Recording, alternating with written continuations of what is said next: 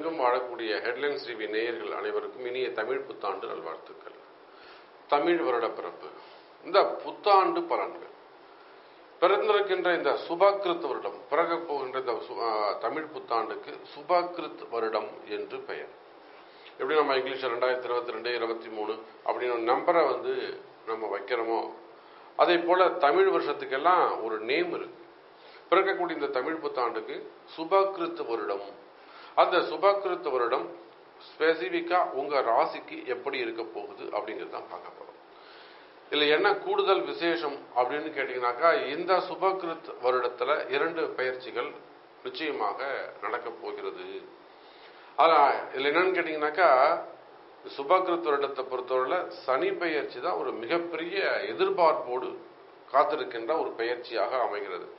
ஆனா குரு வந்து நிலையா ஒரே இடத்துல வந்து உட்காந்துக்கிறார் அவரால் பெயர்ச்சி அப்படின்றத சொல்லவே முடியாது. ஸோ சனி பெயர்ச்சி இந்த சுபகிருத்துவ இடத்துல அமைய போகிறது கிட்டத்தட்ட ஒரு இரண்டு ஆண்டுகளுக்கு பிறகு. அது மட்டும் இல்லை இந்த வருஷ பலனை சொல்வதற்கு முன்பாக இந்த வருஷம் உங்களுக்கு எப்படி இருக்கும் அப்படின்னு பார்க்கும்போது பிளானட்டுடைய பொசிஷன் இந்த நாள் பிறக்கின்ற பொழுது புத்தாண்டு பிறக்கின்ற பொழுது குரு பகவான் அதிசாரமாக மீனத்தில் அமர்கிறார். இது ஒரு சிறப்பு.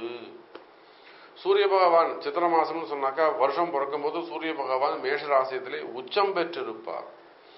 அந்த சூரியனுக்கு இரண்டு பகன்ற பன்னெண்டாக மிக அருகாமையில் குரு பகவான் அமர்ந்திருக்கிறார்.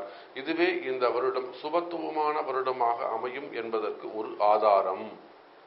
அப்படி பார்க்கின்ற பொழுது அன்பு நேயர்களே ஃபர்ஸ்ட் நம்ம சொல்ல வேண்டிய சுப கிரகம்னு எடுக்கும்போது குரு பகவான் மீன ராசியில் இருக்கிறார். அதே போல ராகுவும் கேதுவும் மேஷம் மற்றும் துலாத்தில் அமர்ந்திருக்கிறார்கள்.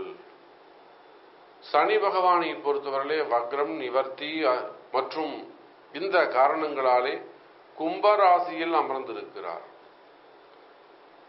அதாவது மகரம் மற்றும் கும்பம். இந்த மாதிரி ஒரு டிரான்சிட்ல சனி பகவான் அமர்கிறார்.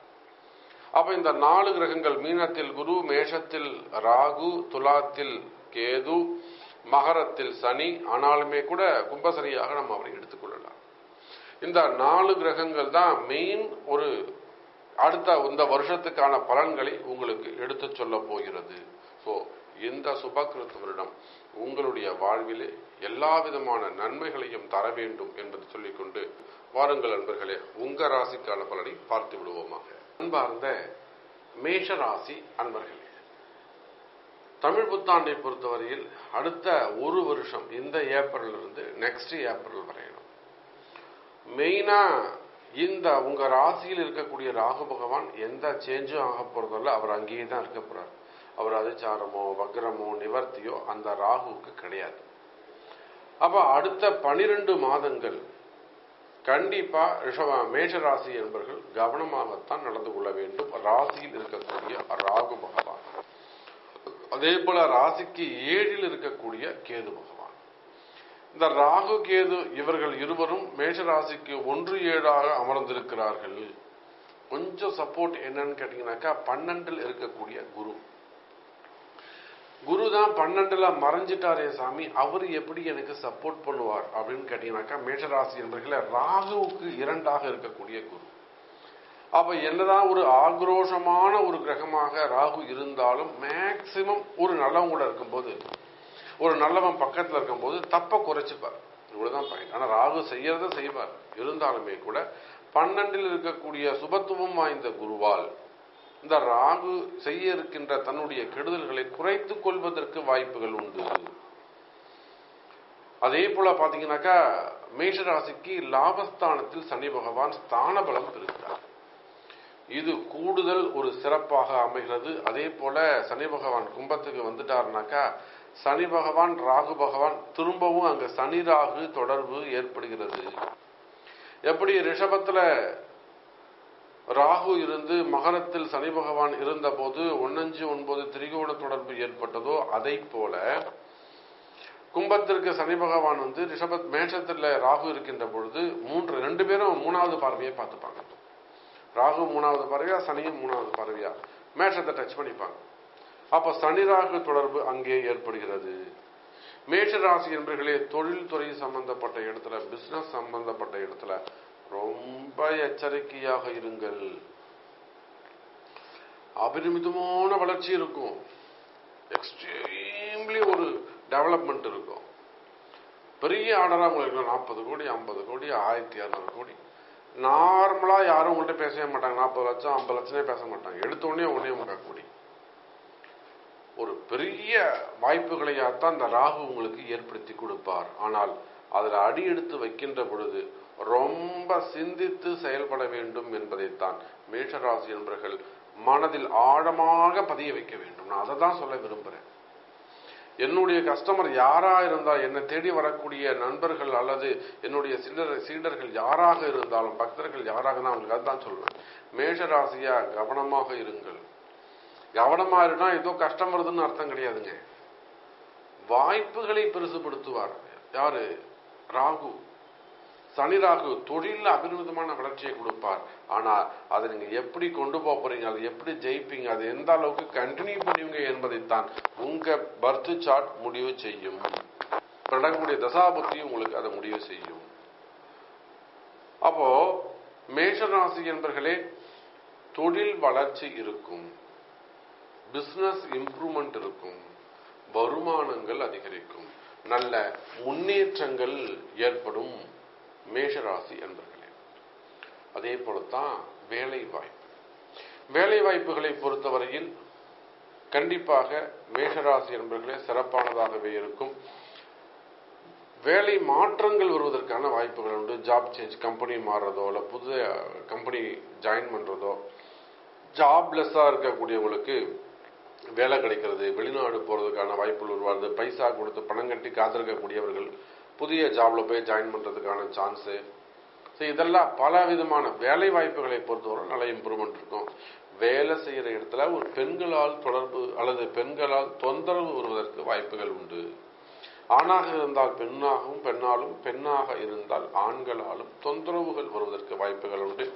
ஸோ உங்களுடைய ஹையர் ஆஃபீஸர்ஸ் ஸோ அவங்கள கொஞ்சம் நீங்கள் கொஞ்சம் அட்ஜஸ்ட் பண்ணி அனுசரித்து போக வேண்டிய சூழ்நிலைகள் ஏற்படலாம். இதெல்லாம் நீங்கள் ஃபேஸ் பண்ணுறதுக்கு தயாராக இருக்கணும். எப்பொழுதும் மனசுல ஒரு விதமான பதட்டம் ஒரு விதமான பயம் இருந்து கொண்டு இருக்கும் மேஷராசி என்பவர்களை இதெல்லாம் நீங்க வழிபாட்டு முறைகள் மூலமாகத்தான் நீங்க சரி பண்ண முடியும். அதே போல மறைமுகமான தோஷங்கள் மறைமுகமான பிரச்சனைகள் அக்கம் பக்கத்து பிரச்சனை. இப்படி பண்றாங்க சாமி அப்படி பண்றாங்க சாமி ரொம்ப தொந்தரவு பண்றாங்க. வேற தொழில் போட்டிகள் தொழில் எதிரிகள் சமுதாய பிரச்சனைகள் சமுதாய எதிரிகள் எதிரிகளுடைய தொந்தரவு அதிகரிக்கும். மேஷராசி என்பர்களே உங்களுடைய ஆரோக்கியத்தில் அதிக அக்கறை எடுத்துக்கொள்ள வேண்டும். அதிகப்படியா நீங்க எதை கவனிக்கணும்னாக்கா உங்களுடைய ஹெல்த்ல நீங்க ரொம்ப கான்சன்ட்ரேட் பண்ணணும். ஹெல்த் வைஸ் ரொம்ப கவனம் செலுத்த வேண்டும். மெடிக்கல் எக்ஸ்பென்சஸ் நீங்க குறைச்சிக்கிறது சிறப்பி தரக்கூடியதாக இருக்கும் தேவையில்லாத மன பயத்தை நீங்க ஃபர்ஸ்ட் பயப்படக்கூடாது. மன பயம் இருந்து கொண்டே இருக்கும். அதுதான் உங்களுக்கான எதிரி. அதே போல பார்த்தீங்கன்னாக்கா கடன் சுமைகள் கடன் பிரச்சனைகள் இன்ட்ரெஸ்ட் சம்பந்தப்பட்ட ப்ராப்ளம் வம்பு வழக்கு கோர்ட்டு கேஸ் சம்பந்தப்பட்டது டிவோர்ஸ் சம்பந்தப்பட்டது ஃபேமிலி சப்ஜெக்ட் ஃபேமிலி சம்பந்தப்பட்ட சப்ஜெக்ட் சம்பந்தப்பட்ட கோர்ட்டு கேஸ் அல்லது சொத்து அசட் சம்பந்தப்பட்டது இதெல்லாம் கொஞ்சம் எச்சரிக்கையாக கவனமாக நடந்து கொள்ள வீண் செலவுகளை தவிர்க்க வேண்டும். அதே போல திருமண யோகம் குழந்தை பாக்கியம் இதெல்லாம் கூட தடைப்பட்ட திருமணங்கள்.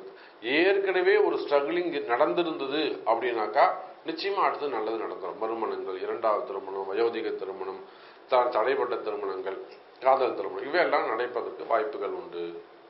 திருமண யோகங்களை பொறுத்தவரையில் உங்களுடைய பிறப்பு ஜாதகம் தான் ரொம்ப பேசக்கூடியதாக இருக்கும். என்னதான் நாம ராசி பலனை சொன்னாலுமே கூட இந்த புத்தாண்டு பலன்கள் நீங்க எனக்கு எப்படி சாமி இருக்கும் அப்படிங்கிறத உங்களுடைய பிறப்பு ஜாதகத்தை கொண்டு பார்க்கும்போது தான் இன்னும் கூட டீட்டெயிலாக தெரிஞ்சுக்க முடியும். அந்த டீட்டெயிலை வச்சு அதுக்கு என்ன மாதிரியான வழிபாடுகள் அது என்ன மாதிரியான ரெமெடி இருக்கு அப்படிங்கிறத பார்த்து செய்வீர்களேயானால் இந்த தமிழ் புத்தாண்டு உங்களுக்கு நன்மை தரக்கூடியதாக இருக்கும். மேஷ ராசி அன்பர்களே. என்னுடைய சேனல் நீங்க சப்ஸ்கிரைப் பண்ணியிருந்தா ரொம்ப சந்தோஷம். இல்லைன்னா சப்ஸ்கிரைப் பண்ணுங்க. அதே போல நோட்டிபிகேஷன் பட்டன்ஸை பிரஸ் பண்ணுங்க. அதுக்கு அடுத்தபடியாக உலகம் முழுவதும் எல்லா விதமான ஆலய கும்பாபிஷேகங்கள் ரொம்ப கைராசியான முறையில் செய்து தரப்படும். அதே போல் திருமண வைபவங்கள் பரிகார ஹோமங்கள் சண்டி ஹோமத்திலிருந்து ருத்ர ஹோமம் சுதர்சன ஹோமம் இப்படி எல்லாவித ஆயுஷ் ஹோமங்கள் அறுபதாம் கல்யாணம் எழுபதாம் கல்யாணம் எண்பதாம் கல்யாணம் திருமண வைபவங்கள் நிச்சயதார்த்தம்.